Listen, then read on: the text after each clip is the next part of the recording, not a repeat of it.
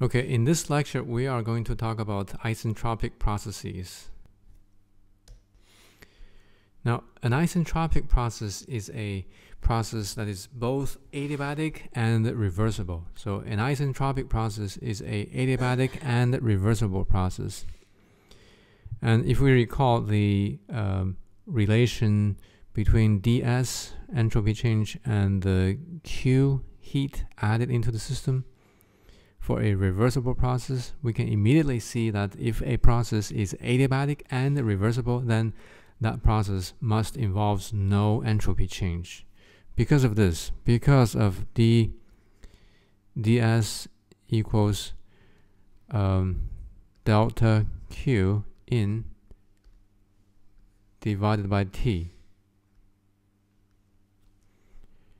Okay, so if a process is reversible, then this relation uh, would be true.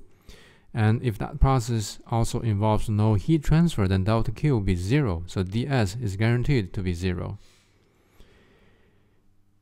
Now it's possible, remember, it's possible that you may have a irreversible process. And uh, after that irreversible process, the system's entropy goes does not change. The, the entropy of the system's uh, or the, the entropy change of the system is zero, even if the system undergoes a irreversible process. Now, just for for example, just think of a system that undergoes a series of uh, irreversible processes and completes a cycle and returns to its original condition, original state. Then, in that series of processes, the system's entropy change is zero. But in that case, we don't call that process a isentropic process because that process is not a reversible process. Now, one basic practice is to be able to find the uh, properties of a system if we know the system undergoes a reversible adiabatic process, or in other words, if the process, if the system undergoes a isentropic process. Now, certainly, if we are asked to find uh, uh, any property of the system, we need to be able to satisfy the state postulate. In other words, we need to know two independent properties of the system if we want to know any property of the system. Okay, here's a uh, example. Uh, uh, example. R134A, this refrigerant, the R134A vapor enters a turbine at 250 psa, uh, psia. That's absolute pressure, 250 uh, pounds per square inch, and uh, at the temperature of 175 degrees Fahrenheit. Um, we know the uh, the this refrigerant um, exits the turbine at 20 degrees Fahrenheit. We also know this process of the refrigerant in the turbine is a isentropic process. We are asked to determine the enthalpy change of the of the refrigerant. Um, now this is a open system. We assume this is a, um, a steady flow process. So if we know the, uh, let me just draw the this process. Now we typically use a uh, trapezoid on the side to represent a turbine and the small end is the entrance is the inlet and the, the large end is the uh, is the outlet. So at the inlet we have a okay it's R134A and we know its pressure 250 psi absolute and 175 degrees Fahrenheit. Um, and we know it's uh, vapor. It's uh, uh, it's vapor. Okay. Um, at the outlet, we know the the temperature only, and we are asked to find H2, the enthalpy at the uh, outlet. What is it? Okay. Um, now, if you just are given this problem, you see, okay, you think of the, what do you think of? When you think of the state postulate, if I'm asked to get any property of a system, I need to know two independent properties of the system so that I can determine the state of the system.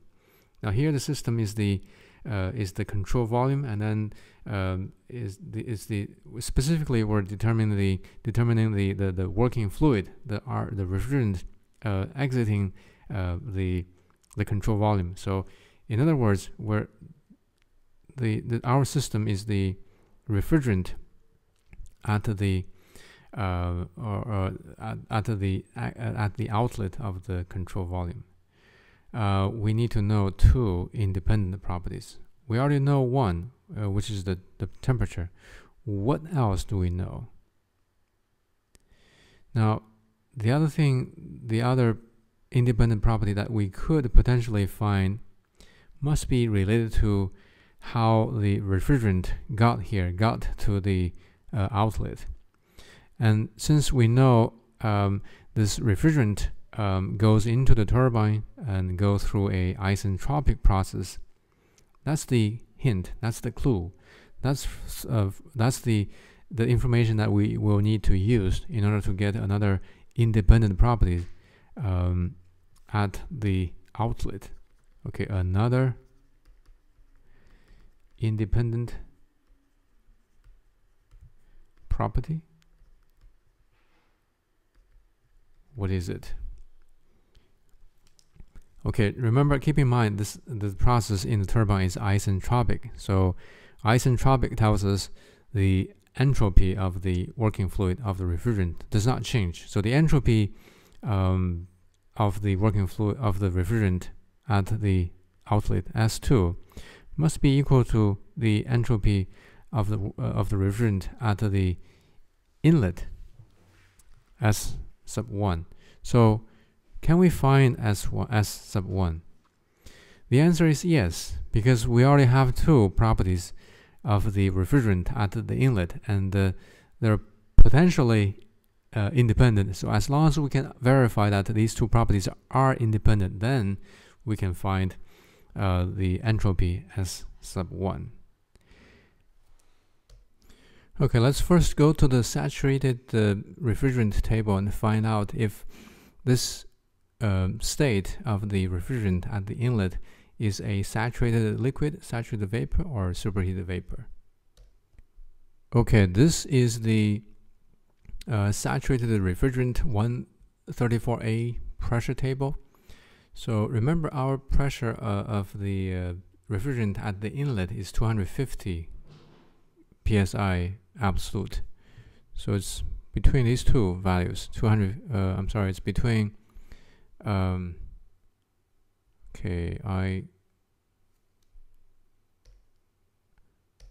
it's between these two values. It's between 240 and between uh, and 260.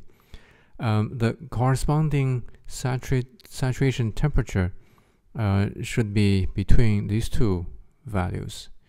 And remember our our condition of the refrigerant is 250 psia and 175 degrees Fahrenheit. So our temperature is higher than the saturation temperature. This tells us the refrigerant at the inlet of the turbine is a superheated vapor.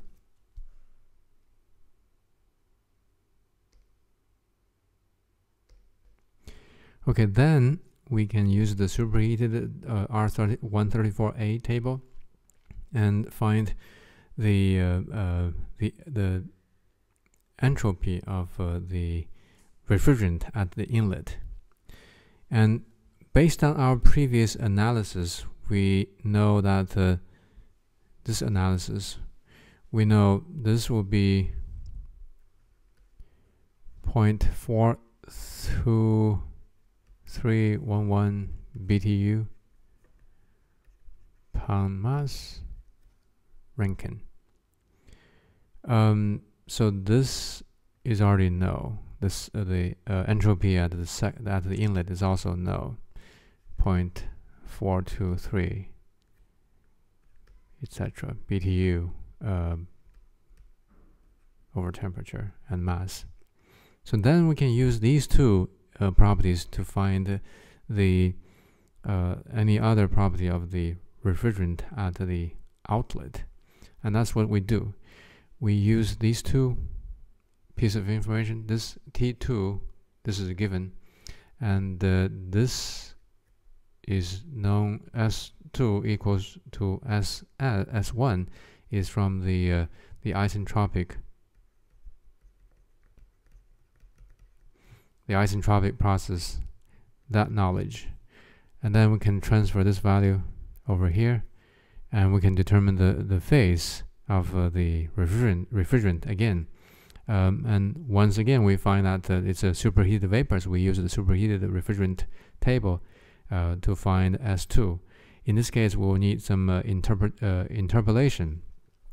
Uh, to do the interpolation, uh, we will need to know the we okay well we we have a, a separate lecture to, to, to show um, how to do the interpolation. We can interpolate the against enthalpy, for example, in this case.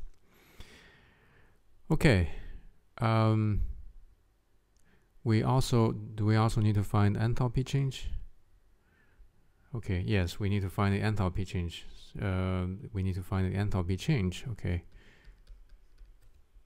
that's why we have enthalpy here for the inlet and we also have enthalpy uh, here for the outlet and then we can calculate the enthalpy change. Done